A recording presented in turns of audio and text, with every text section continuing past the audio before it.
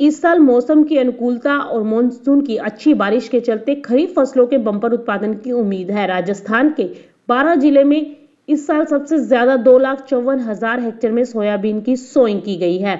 इसके बाद रुककर हुई बारिश से तीन लाख मीट्रिक टन से ज़्यादा उत्पादन की संभावना है। इससे करीब चौदह अरब रुपए से ज़्यादा का व्यापार होगा।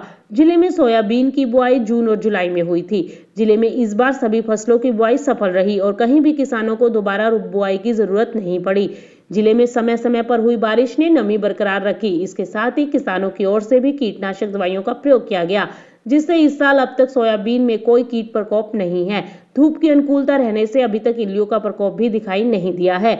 वहीं राजस्थान के बारह ज़िले में अब 20 सितंबर से सोयाबीन की कटाई का कार्य शुरू हो जाएगा। सबसे पहले शाहबाद क्षेत्र में सोयाबीन की कटाई का कार्य होगा और इसके कारण 25 सितंबर तक ज़िले की मंडियों में नई सोयाबीन की आवक आने की उम्मीद है। कृषि विभाग के अनुसार मौसम इसी प्रकार अनुकूल रहा तो पैदावार में भी बीस से पच्चीस फ़ीसद की वृद्धि संभव है।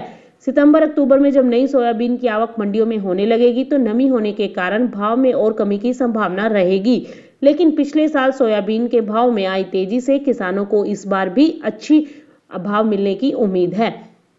ज़िले में इस साल दो लाख चौबीस चौबीस हज़ार हेक्टेयर में सोयाबीन की बुआई की गई थी।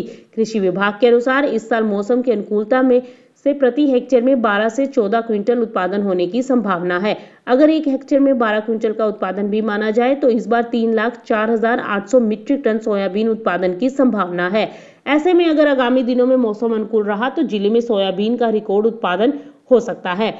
वहीं शहर स्थित कृषि उपज मंडी में पिछले साल इस समय सोयाबीन का अधिकतम भाव पचपन सौ रुपए रहा था और इस बीच सीज़न में सोयाबीन आठ हज़ार रुपए तक बिकी थी, लेकिन वर्तमान में सोयाबीन के भावों में गिरावट है। मंडी व्यापारियों का कहना है कि सरकार की ओर से पाम ऑयल का आयात किया जा रहा है, जिसके कारण सोयाबीन के भाव में गिरावट है। पिछले साल के मुकाबले वर्तमान में पाँच सौ रुपए प्रति क्विंटल की भाव में गिरावट देखने को मिली है। वहीं पिछले हफ़्ते मंडियों में सोयाबीन चौवालीस से पाँच इक्यावन सौ ग्यारह रुपए के बीच बिकता हुआ दिखाई दिया था और एवरेज भाव सैंतालीस सौ रुपए रहा था। वहीं ज़िले में इस साल दो लाख चौवन हज़ार हेक्टेयर में सोयाबीन की बुआई की गई थी। आगामी दिनों में अगर मौसम अनुकूल रहा तो ज़िले में सोयाबीन के बंपर उत्पादन की संभावना है। Bureau report, Market Times TV.